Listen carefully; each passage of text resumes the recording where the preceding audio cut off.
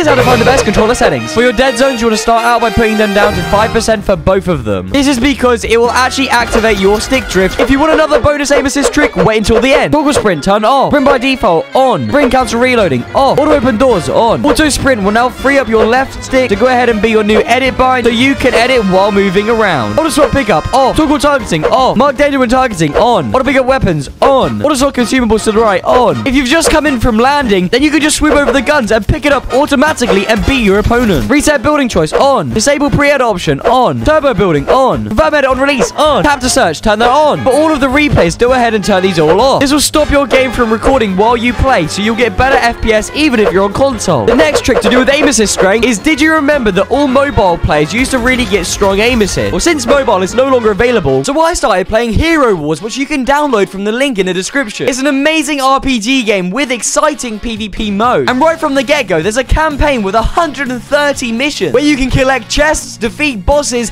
and collect new heroes along the way. My favorite part is finding the best skills out of the 50 different heroes you can choose from and building the best team possible. There's actually six more modes called Arena, Airship, Outland, Guild, Infinite Tower, and Grand Arena. And these will all be actually useful to you. And the bosses that you come up against, you can actually team up with players online and take them down together. If you have any friends to bring along with you and join the app, you can actually create a guild on your own server, ranking yourself up to the best guilds, which will receive prizes. There's actually two versions for mobile and for the web, so anybody can play. There's actually a hundred million, yes, a hundred million people who played this game. Loads of different communities who post about this on social media. Now, come on, do you really want to be missing out on all of this fun? If there's a hundred million people playing it, why aren't you? So go to the description below and download Hero Wars from the link in the description or scan the QR code featured on the screen. Download Hero Wars now for free. Thank you, Hero Wars, for this sponsor. All right, stay right until the end for the bonus aim assist trick. ADS for both of these, you're going to go ahead and put them down to 7% for both of these. Build mode, you're going to go ahead and put this all the way up to around 2.2% is a new god setting. And edit mode, you're going to go ahead and scroll this all the way up until you get to 2.3% exactly. Look horizontal setting, you're going to go ahead and put this all the way up to 47%. And look vertical setting, you're going to go ahead and put this all the way up to 45%. Now to get that bonus aim assist setting, all you have to do is basically enable